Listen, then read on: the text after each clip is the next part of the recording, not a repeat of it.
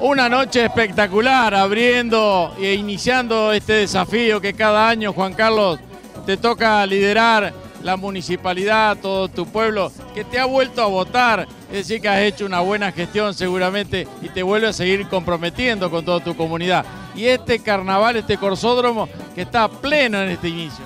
Sí, buenas noches, gracias por acompañarnos. Eh, lo dije cuando fue la noche del muy bien, que habíamos vuelto a la publicidad de ustedes y el año pasado se vio.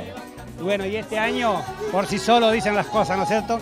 Así que gracias a Dios contento, nos ha hecho una noche especial, pero también la gente ve de la forma seria que trabajamos, tanto el municipio como la comisión de Corso, ¿no es cierto? Que eh, todas trabajan a donores y, y lo que han puesto para que esto esté de la manera que está presentado.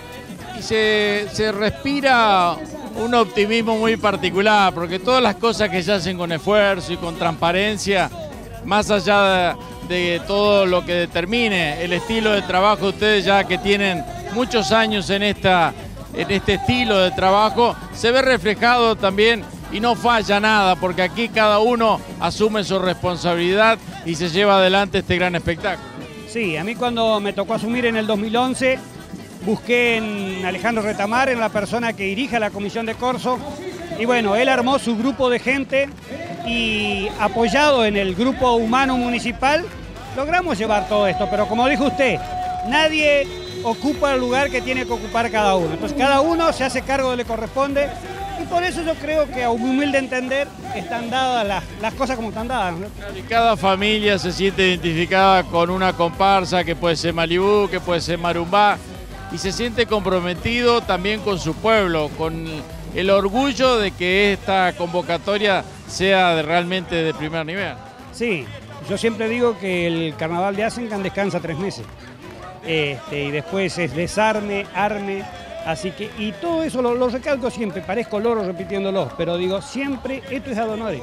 Pero la familia lo hace.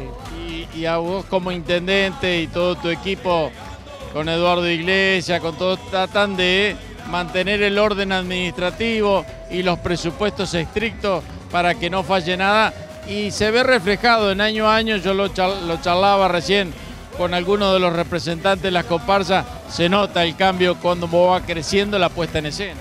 Es que ese es el desafío, que año a año vayamos mejorando, porque si no uno, digamos, no tiene esa expectativa que si uno está siempre en lo mismo, ¿no es cierto?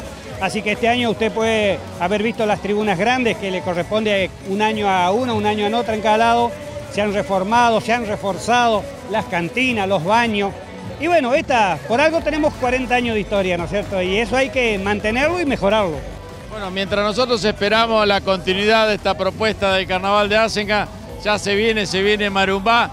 Yo te propongo que compartamos con toda la teleaudiencia una nota que realizábamos hace poco tiempo allí en Santa Fe, porque los hermanos del vino, jóvenes empresarios, están llevando adelante su propuesta de mantenimiento de flota, mantenimiento de nuestros vehículos. Cuando hacemos muchos kilómetros necesitamos confiar en un buen servicio mecánico.